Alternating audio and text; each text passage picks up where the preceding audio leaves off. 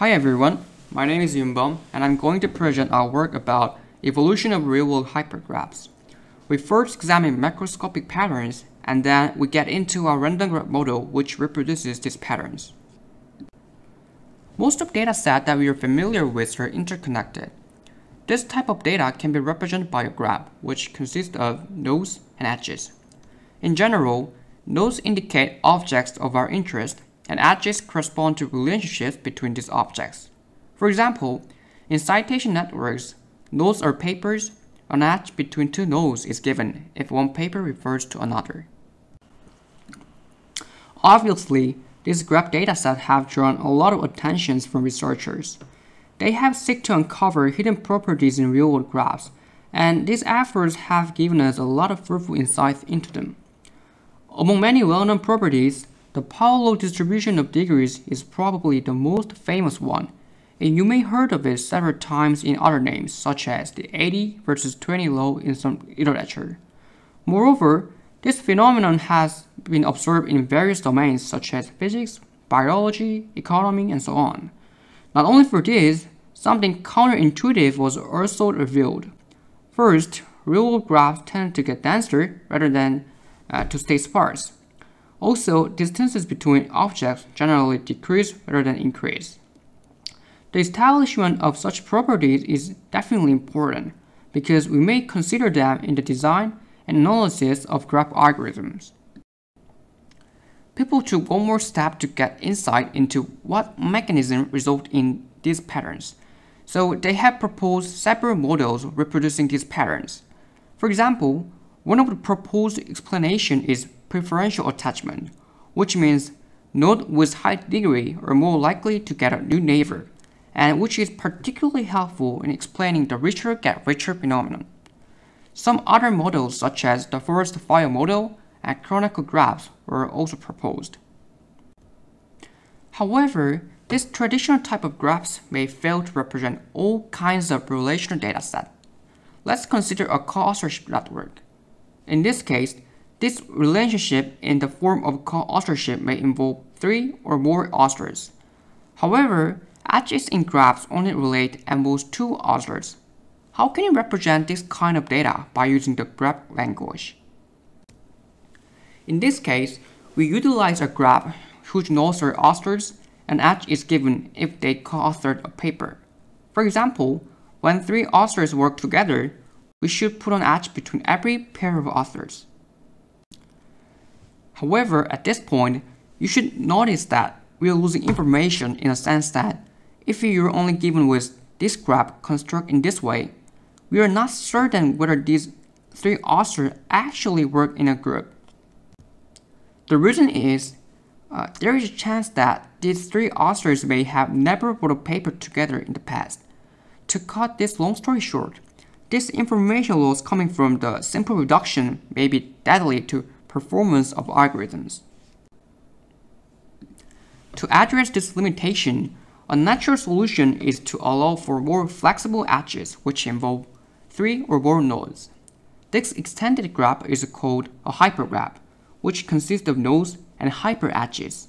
In fact, an ordinary graph we have been talking about is a special case of this hypergraph, in the sense that the size of all hyperedges are just fixed as 2. Actually, hypergraphs can be employed to represent more diverse interactions of nodes. For example, uh, hypergraphs can represent by list of users and co-authorship without the loss of information unlike before. What's more is, uh, considering high-order interactions is helpful for harder tasks. So it's obvious to adopt the hypergraph language in many applications.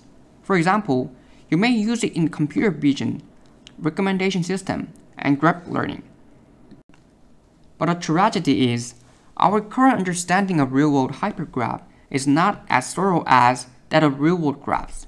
Due to various exercises, it is way harder to establish sort of general rules for real-world hypergraphs. So as an alternative, people take a detour by using the simple reduction technique, which is explained before, and then investigating some properties on this, this on this reduced one. Driven by the importance of hypergraphs, we seek to answer the question, what can you observe from real-world hypergraphs? To this end, we examined four static and three dynamic patterns of real-world hypergraphs at macroscopic level by revisiting well-known properties of ordinary graphs and by devising new measures to capture higher-order interactions.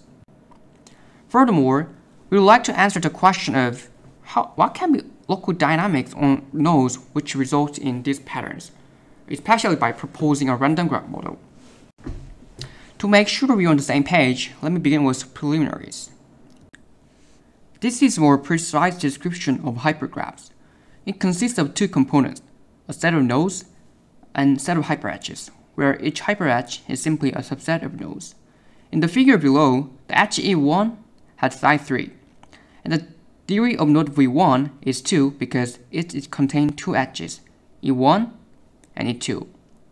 Also, the neighborhood of node is the set of nodes which are contained together in an edge. So, for example, the neighborhood of node V1 is V4, V2, and V3. Next is an incidence matrix of hypergraph, which indicates the memberships of node nodes in the hypergraph. The, the entry at ith row and jth column of the matrix has value 1 if the jth hyperedge contains the ith node. Unlike an adjacency matrix, the incidence matrix may be a non-square matrix. To describe our observations, we especially use a language of distribution in order to reveal macroscopic patterns. Among many distributions, we observed a class of distributions called heavy tail distribution is something special in our work. As this name suggests, when you plot two quantities on the log-log scale, the tail of the distribution is not exponentially bounded. In other words, it decays slower than tails of exponential distributions. The well-known example in this class is the power law distribution, whose formula is as described here. Especially for the power law distribution, one can observe a straight line on the log-log plot, and which is quite obvious from the definition. At this point, how can you measure the goodness of fit of distribution which is adopted to describe a given data set? Practically and philosophically, it is impossible to assert that the dataset genuinely follows some distribution. Rather, our best is like among plausible candidate distributions, we have to determine which distribution has the best fit to the dataset. So we use the log likelihood ratio test to compare two or more candidate distributions. In our work, we especially compare several heavy tail distributions to exponential distribution. We examine and validate patterns of our interest from various domains such as social interaction, email network, and co-authorship. One remark is, in general, the larger the scale of dataset is, the more apparent these patterns are. Now that we are done with base preliminaries, let's dive into the part for static patterns of real-world hypergraphs. The first static pattern we investigate is how the degrees of nodes are distributed. As mentioned, the degree of node is defined as number of hyperedges containing the node. As examined in the previous study, we also confirmed that, that it follows a heavy tail distribution. What's more is the well-fitted static lines together with the log likelihood ratio test suggest that the best candidate is the truncated power law distribution, uh, which falls under the class of tail distribution. The second static pattern we investigated is how the size of hyperedges are distributed, where the size of hyperedge is simply the number of nodes in the hyperedge. We observed that this quantity also follows on tail distribution. Similar to their distribution, the log likelihood ratio test implies that the truncated power law distribution is the best description available. The third static pattern is how the intersection size of two hyperedges are distributed. For a pair of hyperedges, their intersection size is the number of nodes common in both hyperedges. In other words, this quantity captures the frequency of the pairwise intersection size of hyperedges. The likelihood ratios together with the stat line in the figure suggests that the truncated power law is also the most probable description for this pattern. The last structure pattern we examine is how the singular values of the incidence matrix are distributed. According to our examination, it generally follows a heavy tail distribution. To be specific, the log likelihood ratio test suggests that the log normal distribution has the best fit to the data set. And the log normal distribution also falls under the class of heavy tail distribution.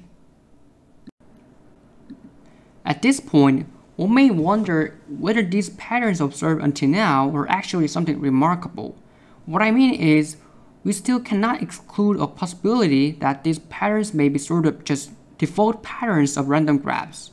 So we also construct a new model as a counterpart of hypergraph in order to emphasize the peculiarity of these patterns. We design a new model as follows. For a given hypergraph edge sequence, each hyperedge in the original hypergraph induces a corresponding random hyperedge with the same size in the new model. In other words, we force the new model to have the same edge size distribution. Even though this new model is constructed from the strict constraint, it still shows different macroscopic patterns. First, compared to the original hypergraph, we observe the degree distribution of the new model is a skewed bell-shaped. Second, for the intersection size distribution, although its offer distribution looks similar, uh, but the range of the intersection size and the frequency of each intersection size are significantly different from the, those of the original hypergraphs. Lastly, for the singular value distribution, we consistently observe a highly dominant singular value. Now let's move on to the temporal patterns of real-world hypergraphs. The first temporal pattern we observe is the intersections of hyperedges become least frequent in overall. When we denote the number of intersecting pairs at time t by yt, and then the number of all possible pairs at time t by xt, we simply plot yt versus xt on the log-log scale as seen here. Our observation is the fitted lines on the log-log plot have slope strictly less than 1. By doing some math, this implies the density of interaction defined by yt over xt decreases over time. So in other words, overall overlaps of hyperedges become less likely over time. For the second and the third temporal patterns, we just revisited well-known dynamical patterns in real-world graphs, which are densification and shrinking diameter. Instead of investigating an ordinary graph obtained by the pairwise reduction, we investigate these patterns on real hypergraphs as they are, and then we confirm that this still takes place in this setting. Let me start with densification. When we plot the number of hyperedges versus the number of vertices on the log-log scale, we observe that the slope of the fitted line is slightly larger than 1 as seen in the figure. Doing some math gives us these relationships, and it can be translated into the rise of average degree of hypergraphs over time. The third pattern is the phenomenon of shrinking diameter. In the hypergraph setting, diameter is defined as the maximum of distance between any pair of nodes where the distance is the number of hyperedges required to move from one to another. We actually investigated the effective diameter, which is more robust to outliers, and we observed that the effective diameter eventually starts to decrease over time. Along with these established patterns in real-world hypergraphs, we go further by proposing a growth model to explain what local dynamics cause these static and temporal patterns we propose a model called Hypergraph Forest Fire, which adopts a forest fire scheme to generate hyperedges. In essence, when a new node arrives, fire is randomly spread through existing hyperedges so that it decides the new node's neighbors. And then, our model stim simulates the forest fire again to extend each created hyperedge. To regulate this dynamic, we only need two probability parameters, which are burning probability and expanding probability. Let me describe our model through an example of co-authorship network. Suppose a new graduate student who is node U in this figure joins the research community. The student chooses his advisor who is node W and making this new relationship is said to be burning the node W. As of now, the student would like to work together with the advisor's peers. When introducing peers, the advisor W is more likely to introduce intimate peers rather than just random peers. So it's reasonable to take into account sort of tight trends between those in doing so. Introducing someone new based on the advisor is similar to the phenomenon that the fire based on the advisor spread through his network, and that's why this procedure is called forest fire.